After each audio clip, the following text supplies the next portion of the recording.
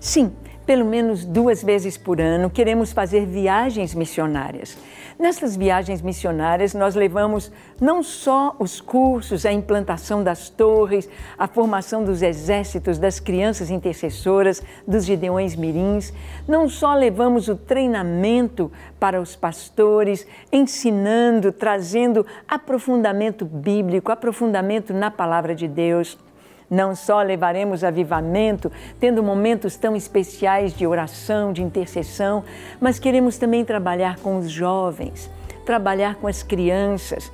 Os jovens têm sido levado a eles o evangelismo através do teatro, de corais, através do futebol e do esporte. Nós estamos vendo como que Deus tem usado estas armas, estas ferramentas para abençoar as nações. E os nossos jovens, os nossos missionários estarão indo. Para isso, nas viagens missionárias, nós temos separado períodos de férias no Brasil, férias escolares. Férias na faculdade, que seriam os meses de dezembro e janeiro e o mês de julho.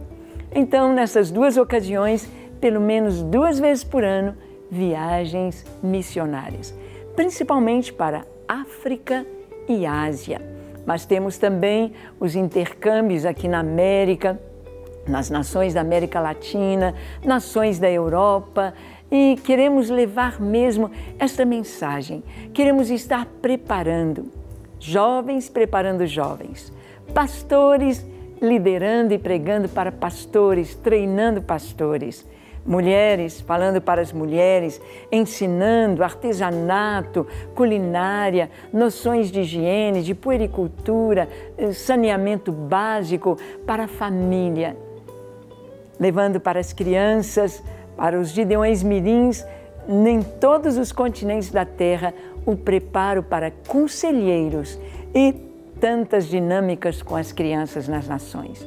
As viagens missionárias estarão abertas e queremos que todos os que forem tenham passado pelo curso básico, pelo menos, ou pelo curso avançado de missões transculturais.